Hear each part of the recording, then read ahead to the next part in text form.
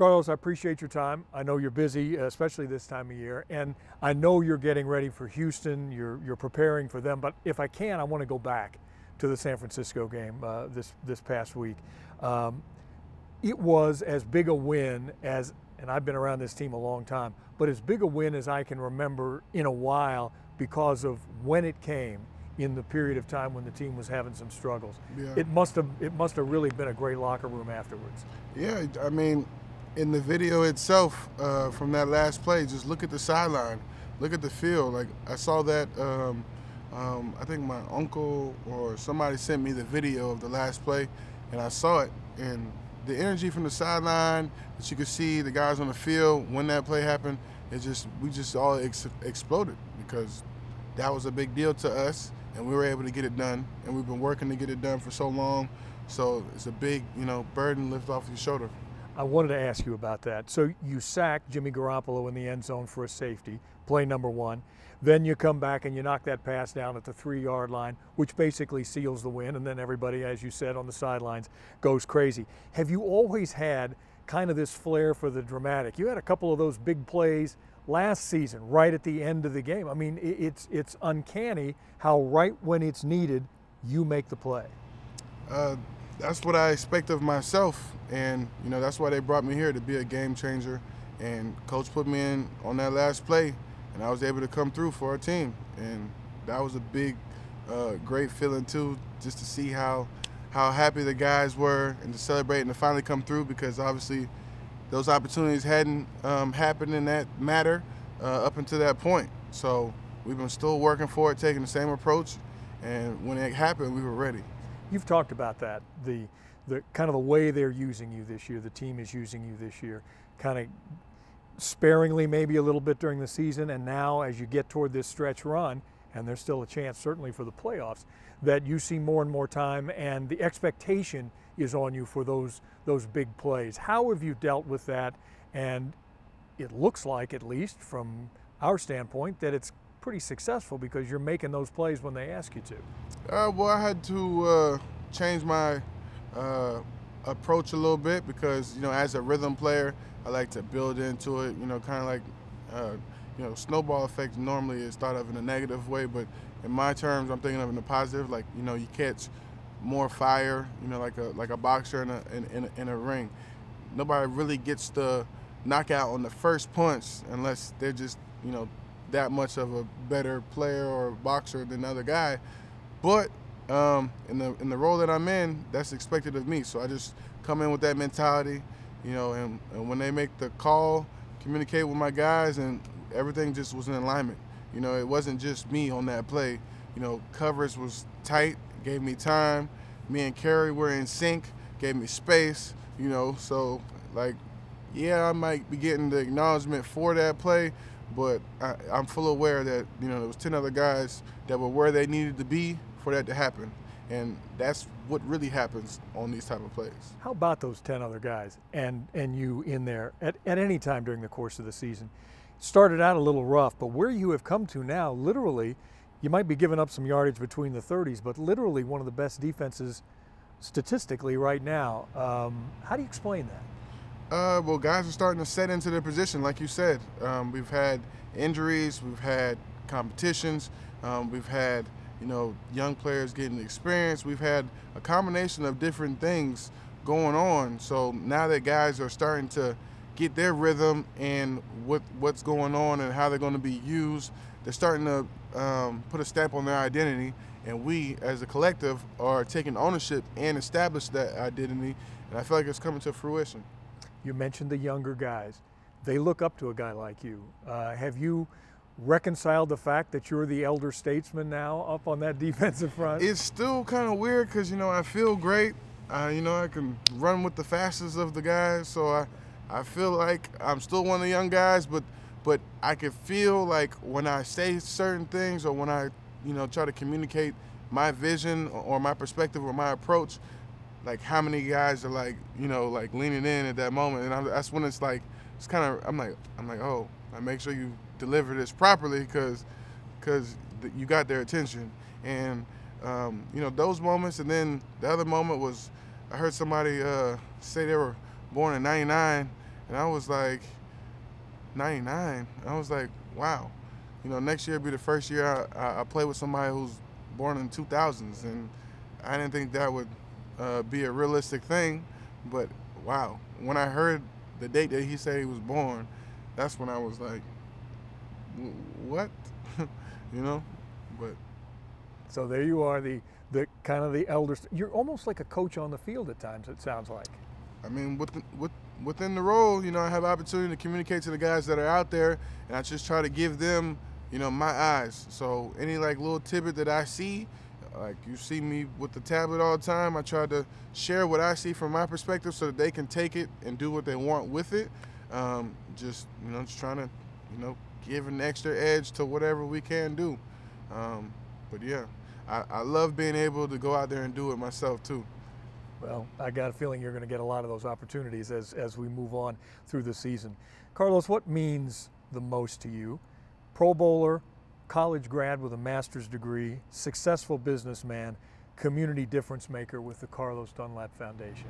Uh, is that like asking which is your favorite child, which is your favorite son or daughter? Um, the most rewarding thing for me is probably the community difference maker because if I can leave that door open for the next person to come through and you know exceed what I've been able to do, that's the most rewarding for me. Just like when I give these, you know, my teammates um, little tidbits and they take it and apply it, that's the most rewarding for me because I know I can control what I can when I'm, you know, out there or in that position or given the opportunity. I know I trust my preparation, but if I can help someone unlock theirs or unlocks a different perspective so that they can go out here because you know it's 100 and what 20 yards of opportunity out here, so there's enough out here for everyone to eat. Um, so if I can help speed it up for someone, or open that door, or give it an opportunity, or help give resources back home that you know you don't naturally have, or or might not have, or that I didn't have, you know, because growing up I can't remember a professional athlete coming to my school teaching me about the process, going through recruiting um, with all the schools, sending you letters. Uh, you know, me and my family kind of fell forward through that and just stumbled through it the way we did. Um, and then from that, you know, getting your draft grade to seeing if you should go, if you should stay for your senior year, you know, going through that process to, you know, um, falling in the drafts a lot lower than you expected or, you know, thought that you would have been, and then going out there in your rookie year and, you know, proving all those 31 other teams wrong getting, you know, yeah, I don't want to go off accolades. I don't want to talk about that, but yeah, just just just the process of of it all, and you know, it's helped me become a better businessman off the field as well too. But for all of those issues along the way that you had to deal with, it sounds like you always came back to that thought as well. This is an opportunity for me. You went back and got not only your bachelor's degree, but your master's degree. That's just not always heard of here at this level of the National Football League. Yeah, one of the things you said that was key for me was the opportunity. Um, you know, I, you know, I promised my mom that I would finish my uh, bachelor's degree before I declared. So I was in school taking extra classes, and I was 10 credits away from it when I um, when I declared. Uh, so you know, it was always in the back of my mind that I would go back. Florida always welcomed me back, said they would uh, support and honor my scholarship if I was to go back. So I wanted to capitalize on that opportunity, regardless of the resources that I was afforded from being drafted. Um, and we had the lockout season, so I went back to campus, took a couple classes then, chipped away at it, but I still needed, you know, one more. And then I was in Miami at my training facility, and a couple of guys, I just overheard them talking about, um, you know, this new program that they're starting at the University of Miami. Um, that was an executive MBA program, that was a accelerated program that allowed for athletes, artists, and influencers to come and do this 12 week program over the span of two years and get your master's. And I was like, I, I want I want to understand business better. So that what better way than submerging myself into that? So I signed up the day before and was in class the next day. That's amazing. That's yeah. an amazing story. It was and it's challenging. It's paid benefits because uh, we mentioned independent businessman. Yeah. How's the restaurant? the restaurant's doing really good. You know, uh, you know, we had a couple uh, highlights for me. Uh, you know, the first one was when you know, Yelp reached out to me because they said we broke their algorithm on searches um, Really? for, in a month. Uh, that was in our first year, and then this year, um, you know, my manager sent me that uh, you know we were the number one brunch place for I don't know a couple weeks um, within the certain region or area of Miami, um, and those are two of the most rewarding things because you know before I opened my spot, I know the brunch places that I was going to, and I still go there sometimes, you know, just just to get away and from Check my restaurant and yeah. check out the competition some, but two because I still enjoy the, certain things from those places, Right. you know. Um, so it's pretty cool to see and to be able to sa- take ownership and pride in it because you know I literally put some sweat and elbow grease in there. Uh, if you ever see those pictures, that green wall, I bought that off Amazon and I built it through YouTube. Um, I put it up there because you know it was cheaper than the contrary. After I got a couple quotes back, you know. Well, if you're down there in Miami, honey uninhibited, yes? Yes, sir. You There you said it right. Yeah. Honey uninhibited. So check it out. It's, it's one of the best. I, Yeah. One more question for you. I know you got to go. Um, a lot was made before the San Francisco game, or after the San Francisco game, I beg your pardon, of the meeting Saturday night. And you talked about it after the game about Tyler standing up and sort of looking at all the guys and saying, What's your why? Why are you here?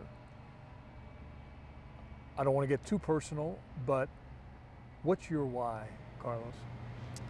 my why, uh, you know, just continuing to to prove myself right and to use this platform to impact in um, in a positive way. My community, you know, my family name, um, you know, I can go pretty deep, but I was trying to give you like a couple, you know, one word answers. Um, but that's pretty much why. Prove myself right. I'm a competitor, so I love to compete. So um, this is what I thrive on. This is my passion. So I try to wear it on my sleeve and use that passion um, for the, the good.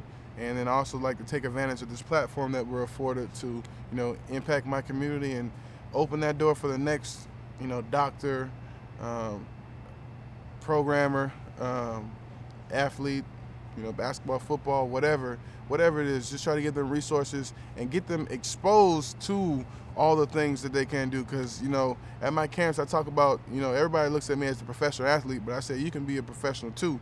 But what kind of professional do you want to be?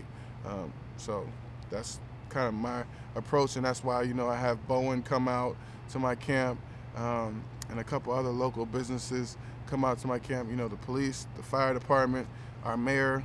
Um, you know, just so they get exposed to, you know, different avenues of professionals because, you know, what you see is what they think is, um, you know, life or the lifestyle, and uh, and typically it's artists, music artists, or athletes. You know, those are the top two that you see the most of.